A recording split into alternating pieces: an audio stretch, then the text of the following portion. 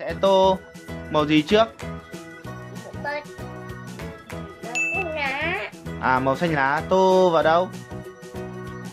Tô ở đây À tô ở dưới nước đúng không? Tô vào nước là màu xanh lá cây.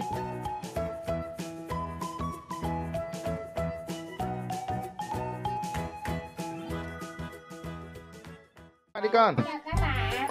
Hôm nay Ngân Hà tô bức tranh gì cho các bạn xem nhỉ? À Ngân Hà sẽ tô bức tranh trung ngộng đúng không?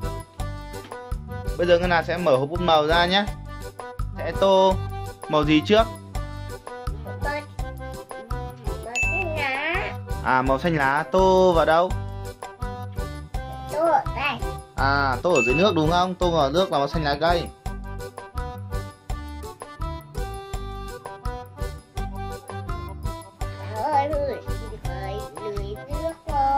Ừ, tại sao con lại thích tô màu xanh lá cây ở dưới nước nhỉ?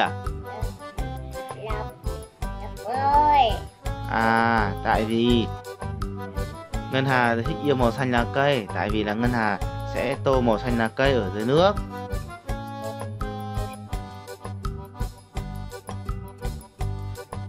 Bây giờ là Ngân Hà sẽ học cách phối màu cho bức tranh này xem các bạn vào khoe với các bạn đúng không?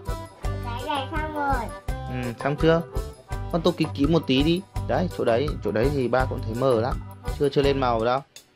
Bây giờ bây giờ ngân hàng phải tô để cho nó màu xanh nó nó nổi lên đúng không?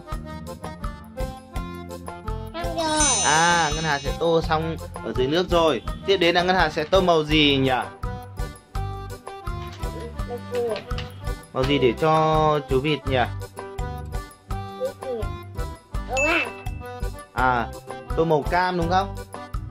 màu cam Màu cam tô vào đâu? Ngân là sẽ tô vào cánh đi nhỉ? Cánh, ừ, cánh chú ngỗng tô màu cam đi đúng không? Ờ. Ờ con tô nhá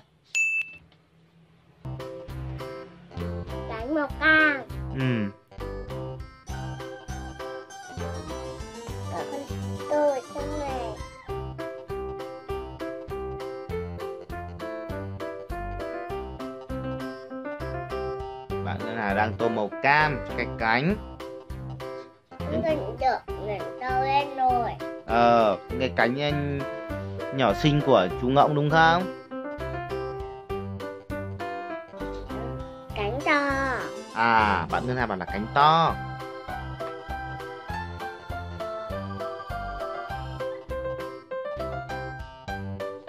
Tô cái cánh và người chú ngỗng rồi đấy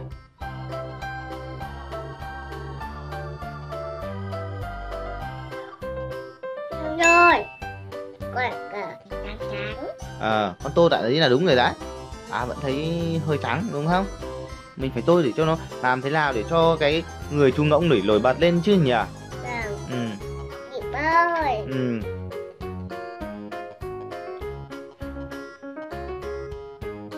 Ngân là sắp tô cái thân hình chú ngỗng xong rồi đấy. Đúng không?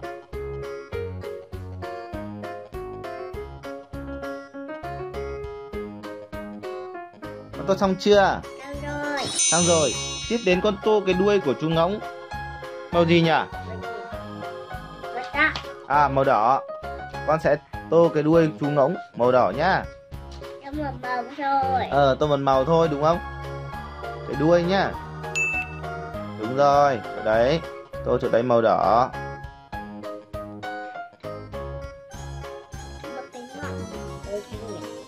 Tí nữa. Con thích tô cái mỏ màu gì? Theo ba Theo ba học cách phối màu thì Ngân Hà sẽ tô màu vàng đi nhỉ? Ờ bây giờ Ngân Hà sẽ tô cái đuôi màu đỏ trước, đúng không?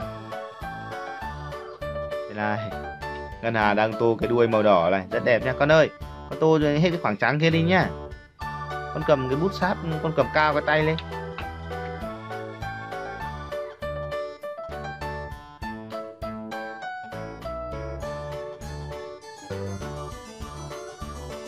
Wow, Ngân Hà tô cái đuôi đẹp quá. Đúng không? Tô cái đuôi xong rồi. Phần tiếp theo là Ngân Hà sẽ tô cái cái gì của chú ngỗng nhỉ? ừ. Nha. Ờ. Nha. Con sẽ tô màu gì? Màu này. Ờ màu đấy. Màu đấy tô tô ở đâu nhỉ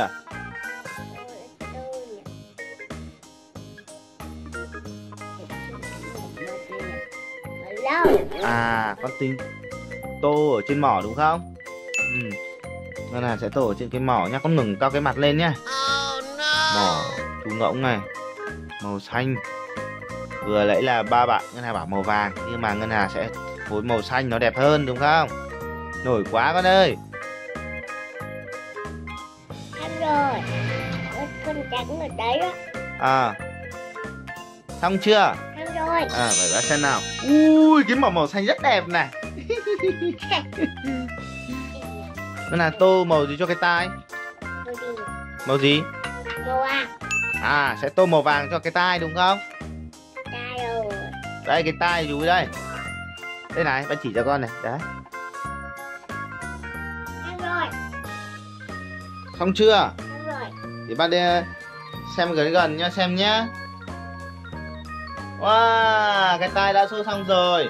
Nhưng mà bạn vẫn thấy hơi nhạt con sẽ tô đậm đậm thêm một tí nữa đi.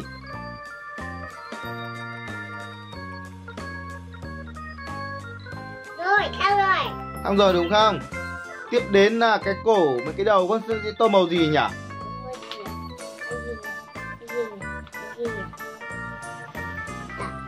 Rồi đi à cái tô màu đỏ đỏ đúng không ở đâu?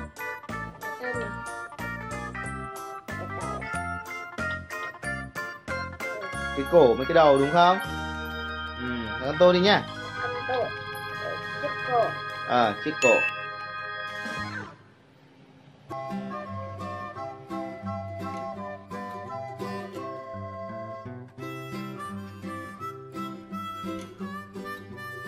Ngẩng cao cái đầu lên rồi xong rồi đúng không? Giỏi quá.